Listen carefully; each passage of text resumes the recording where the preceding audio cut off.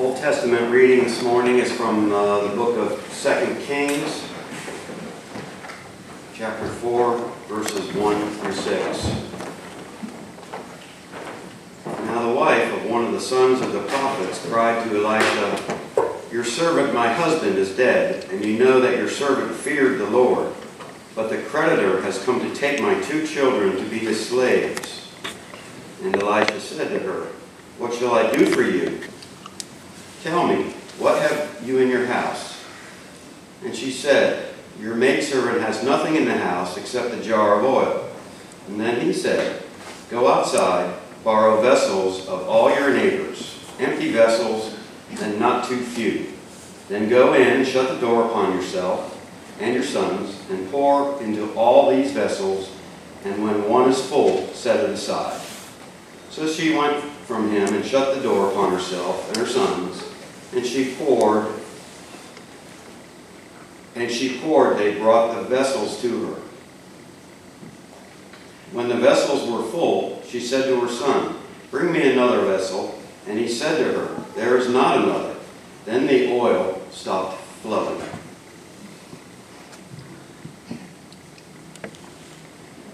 The New Testament reading is from the book of Matthew.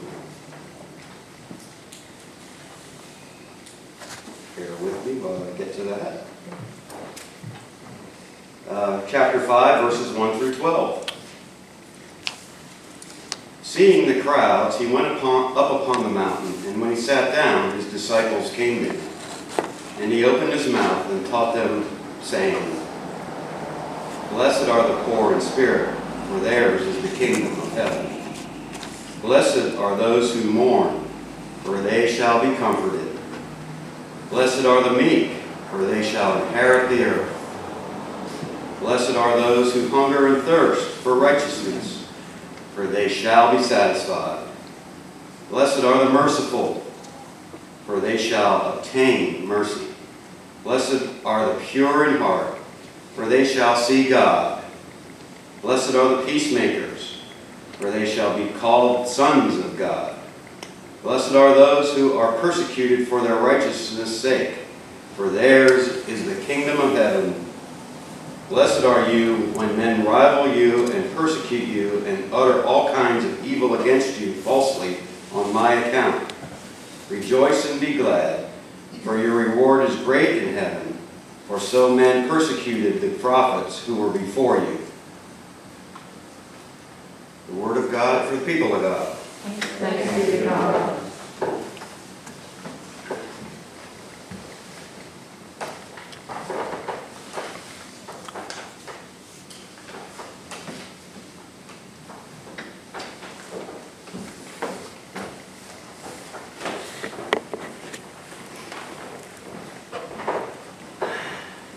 Good morning. Although vacation was fun, relaxing, productive, and restful, I am, and I think I speak for Warren too, we are glad to be back. And I'm looking forward to this new eight-week series on the Beatitudes. It's based on mostly from a book that I've been reading called Set Apart by Jennifer Kennedy Dean. So we're going to start with an introduction on this word blessed and also the Old Covenant versus New Covenant from God, the law of Moses and the covenant of grace. In the gospel reading, the word translated as blessed comes from the Greek word makarios, a word translating the Hebrew, which most likely, most scholars believe Jesus would have used that translation in his first sermon. This word has like layers of meaning. There was a Hebrew expression that was commonly used by rabbis and sages back then, translated to, oh, the blessedness of. The word also carries this sense of congratulations and implies moving forward. Lastly, the word blessed was used to describe someone who had everything they needed and they were completely satisfied, content all the time. So pulling this all together, the phrase Jesus likely used, which is translated into the English as blessed are the, implies this deep-seated joy, contentment, and happiness rooted on the inside of us, not easily altered by outside circumstances. God has always wanted us to live a blessed life. In the Ten Commandments, God's desire was for people to have particular behaviors toward God and toward one another. And if they would follow these commands, they would live under the blessing of God. When the commandments were given to the people, their initial response that we hear in Exodus is this All the words which the Lord has spoken, we will do. The law gave this standard to aspire to. The people at first agreed wholeheartedly to perform these commands, these laws. Then, of course, people being human beings, being the way they are, they, they fell short. They sinned. They turned away from God and what God wanted for their lives. Jesus came and turned things around. Jesus took the emphasis off the outward behavior and placed it within our hearts. Jesus said, Do not think I have come to abolish the law and the prophets. I have not come to abolish them, but to fulfill them. The difference between the old and the new covenant is not so much the content of the law, but the location of it. In the Old Covenant, the law was on the outside, rules on stone tablets that people were to do. God had proclaimed through the prophets that there would be a new covenant. In Jeremiah 31, in chapter 31, we hear, I will put my law in their minds and write it on their hearts. I will be their God and they will be my people. And in Ezekiel 36, we hear, I will give you a new heart and put a new spirit within you. When Jesus came, he came to lift us up from out under the law and put us under grace. What the law was powerless to do was changing our hearts. God did this by sending his son. Apostle Paul perhaps says it best in Romans 6.14, For sin shall not be your master, because you are not under the law, but under grace. Grace, then, is what I believe God would call the law on the inside. What the law, what the outside law demands, grace provides. Under the rules of grace, everything that God demands of us, God provides for us. Under the rule of grace, the law that once condemned now empowers. In John chapter 1, verses 17 and 18, it says, For the law was given through Moses, grace and truth came through Jesus Christ. Grace, the unmerited favor of God. Grace, God's action on our behalf. So I want to give you a little, for instance, with this. The law says, you shall not murder. Grace, however, prohibits the inner attitude that would produce murder. So a person, you know, a person can use their really to not murder someone, right?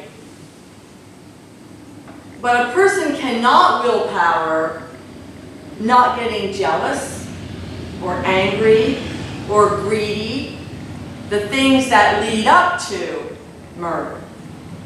Do you see the difference? The law of grace requires this inner power that God gives us. This transformative law that is on the inside. True contentment and happiness that Jesus calls blessedness comes through living because of the life of Christ within us. It's not a reward for a behavior, it's a condition of the heart. So Jesus begins his inaugural address, so to speak. Right? Blessed are the poor in spirit, for theirs is the kingdom of heaven. This sounds like an odd way to start an inspiring message, doesn't it? Poor in spirit? Poor in anything? And to top it off, the Greek word that's translated there as poor implies destitute, with no ability to provide anything for yourselves, dependent totally on others. Jesus could have used a different Greek word for poor, which would have meant more like the working poor. You know, people going week to week, struggling but getting by. But he uses this word, which means impoverished. But what Jesus was getting at was that the kingdom of God belongs to those who recognize that they are incapable of spiritually providing for themselves. They have nothing to give that earns them entrance into the kingdom of God. We need to totally depend on God. It's foundational. This is why I think this one is first in Jesus' sermon, known as the Sermon on the Mount. Being poor in spirit is not just the way into the kingdom, but it's the way of life in the kingdom. In verse 3 of the hymn, Rock of Ages, we sang it earlier. In verse 3, the lyrics, Nothing in my hand I bring, simply to the cross I cling. This is how we enter in the first place. We provide nothing. We are impoverished. God provides everything. Remember the children's message? I said it was for you. Right? Children, they don't feel obligated to provide their own food or clothing or shelter or how are they going to get to the doctors. They don't even, you know, it doesn't even cross their mind because it's natural for children to depend on their loved ones, on their families. Well, it's like that. But unlike children, we are so used to having to work and earn and produce and show our value and on and on that it's difficult for us to come empty handed to the cross. Difficult for us to admit that we are needy and weak. But we need to remember that our weakness opens the door to God's strength, which is beyond any strength any of us would ever have on our own. An example of this comes from that Old Testament reading that Bob read. A poverty-stricken widow shows her helplessness to the prophet Elisha. She has nothing to pay the creditors, and they're going to take her two sons and put them and make them as sell them as slaves. Elisha asks, "What do you have in your house?" And she says, "Nothing but a little oil." This is the level of poor that Jesus was talking about. Impoverished. Blessed are the poor in spirit. She had no source of supply. But once she confessed her helplessness, Elisha gave her advice to go out and collect these jars from the neighbors, empty jars from neighbors. Now she's totally dependent on a supply that has to come from others. Oil, by the way, is often used as a symbol of the Spirit in Scripture. So although the story may be historical, it also has a layer of spiritual meaning to it. Many empty jars were collected. When the oil from her little jar, she kept pouring it. It just kept pouring into the emptiness. Kept pouring and pouring. The emptiness, a little became a lot. This little oil she had. And it was only when all the vessels were filled did the oil stop flowing. Because there was no need anymore. There was no more emptiness. In the kingdom, it is a great advantage to come to God as poor in spirit. Knowing we can't do anything on our own. We can try, and we do as humans. I can do that. I want to do that. But when we don't, when we're not aligned with God and God's will for what we do and what we don't do, we struggle.